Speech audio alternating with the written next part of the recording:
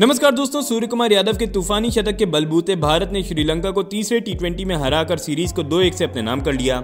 वहीं सूर्य की बल्लेबाजी को देख पाकिस्तान के दिग्गज भी हैरान रह गए हैं और उन्होंने सूर्य पर कुछ ऐसा कहा है जिसे सुन आप भी खुश हो जाओगे। शोएब अख्तर, वसीम अकरम से लेकर शाहिद अफरीदी ने सूर्य पर बड़ी बात कही है। जी हाँ दोस्तों, पूरी खबर जानने के लिए इस वीडियो को अंत तक ज़रूर देखें और अगर आप भी सूर्य कुमार यादव के फ़ैन हो तो इस वीडियो को दिल से एक लाइक ज़रूर करें। दोस्तों, नए साल में नए दौर की शुरुआत कर रही भारतीय क्रिकेट टीम ने एक बेहतरीन जीत के साथ अपना खाता खोला है। श्रीलंका के खिलाफ राजकोट में तीसरे और आखिरी टी मैच में टीम इंडिया ने इक्यानवे रनों के बहुत बड़े अंतर से जीत दर्ज करते हुए दो एक से सीरीज़ भी अपने नाम कर ली है। और इस मैच के हीरो रहे सूर्य कुमार यादव और उनकी बल्लेबाजी से पाकिस्तान में बवाल मच गया है। भारतीय क्रिकेट टीम में टी फॉर्मेट का नया चेहरा बन चुके सूर्य कुमार यादव ने अपनी धुआंधार बैटिंग के अंदाज को 2021 और 2022 के बाद 2023 में भी जारी रखा है। दुनिया भर के गेंदबाजों की धुनाई कर चुके सूर्य कुमार यादव के निशाने पर श्रीलंकाई बॉलर आए, जिनको कूटते हुए सूर्य ने एक और आतिशी शतक ठोक डाला। तीसरे टी में सूर्य ने सिर्फ़ इक्यावन गेंदों में 112 रनों की धुआंधार पारी खेलकर रंग जमा दिया। एक एक से बराबर चल रही इस टी सीरीज़ के आखिरी मैच में भारत को बल्लेबाजों से बेहतर प्रदर्शन की उम्मीद थी। और सूर्य ने ये ज़िम्मेदारी अपने कंधों पर ली।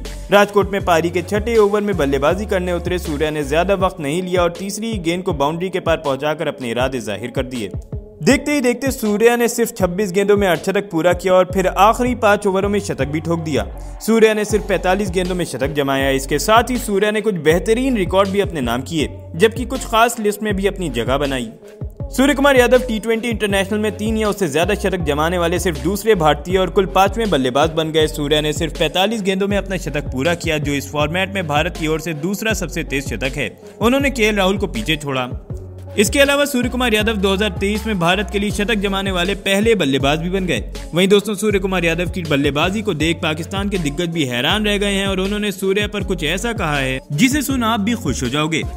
सबसे पहले शोएब अख्तर ने सूर्या की तारीफ़ करते हुए कहा माशाअल्लाह ये सूर्या किस प्लेनेट का है?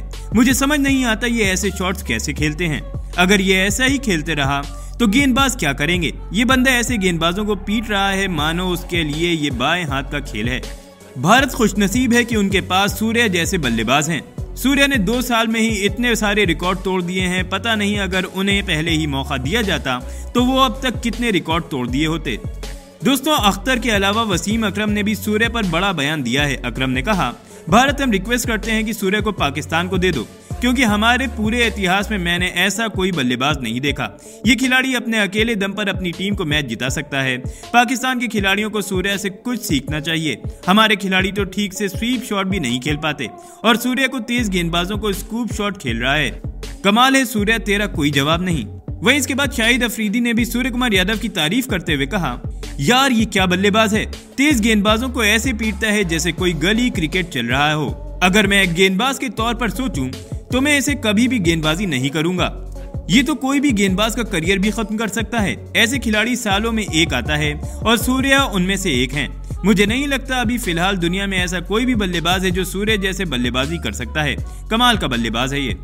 दोस्तों, पाकिस्तान के दिग्गज तो सूर्य कुमार यादव के दीवाने हो गए हैं। लेकिन दोस्तों, आप सूर्य की बल्लेबाजी को 10 में से कितने नंबर दोगे? अपनी राय कमेंट ज़रूर करें।